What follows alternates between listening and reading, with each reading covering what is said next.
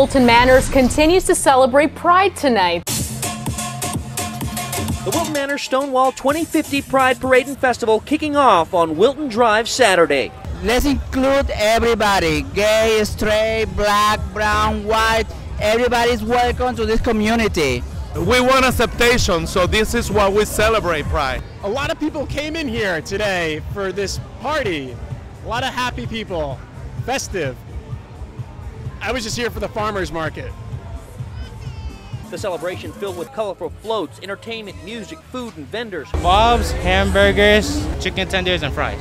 I was kind of hungry and I saw a sign for footlongs.